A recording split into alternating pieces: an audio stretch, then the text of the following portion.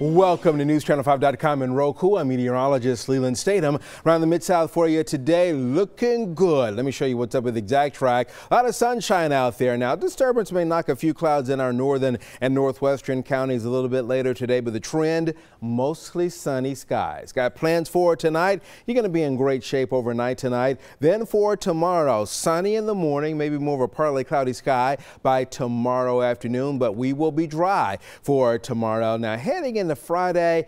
Just a slight rain chance. I think most of you all will be dry between now and Friday, but we'll put in a 2 and 10 rain chance as we head through the daytime hours on Friday. Saturday looks good for the Mid-South. There you see what's happening on Friday afternoon. Not a whole lot there. And then Saturday dry, but rain chances go up a little bit for Saturday night and Sunday. So for today, mid to upper 70s this afternoon, tonight down to 51. Here is that seven day forecast. There you'll note 83 83 tomorrow and Friday, 82 on Saturday. We'll up the rain chances just a bit as we head into Easter Sunday. Go out and enjoy the beautiful weather from the Storm 5 Weather Center. I'm meteorologist Lelan Statom.